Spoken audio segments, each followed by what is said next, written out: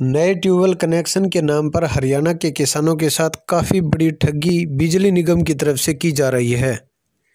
پردیش کے مکھیہ منتری منوہر لال کھٹر نے دسمبر دو ہزار اٹھارہ میں اکتیس دسمبر دو ہزار اٹھارہ تک کے سبھی پینڈنگ ٹیوب کنیکشن جاری کیے جانے کی گھوشنا کی تھی۔ اس کے بعد ہزاروں کسانوں کو نئے ٹیوب کنیکشن دیے جانے تھے، جس کے لیے وبھاگیہ کارروائی شروع کی گئی۔ شروعات میں کسانوں سے تیس تیس ہزار روپے ٹیوب کنیکشن کے نام پر جمع کروائے گئے۔ اس کے بعد ودھان سبھا چناؤ سے پہلے ٹیوب موٹر کے نام پر بھی الگ الگ لوڈ کے مطابق ہزاروں روپے جمع کروائے گئے۔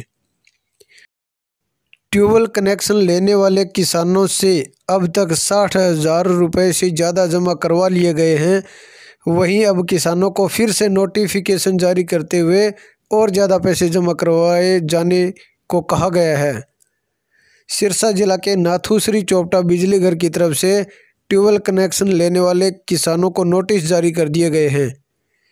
وہیں پردیش کے باقی بجلی گھروں سے بھی یہ اس طرح کے نوٹس جاری کیے جا رہے ہیں۔ ناتھوسری چوپٹا بجلی گھر سے سینکڑوں کسانوں کو ٹیوب کنیکشن کی نئی نوٹیفیکیشن کے آدھار پر نوٹس جاری کرتے ہوئے لاکھوں روپے جمع کروانے کو کہا گیا ہے۔ تین سے چار ایکڑ کی دوری پر کنیکشن کروانے والے کسان جنہوں نے ساٹھ ہزار روپے سے زیادہ آلریڈی جمع کروا رکھے ہیں، وہیں اب جیسے ہی کسانوں کو ایک لاکھ سے زیادہ روپے اور جمع کروائے جانے کے نوٹس ملے تو ان کے پیروں تلے سے زمین کھسک گئی۔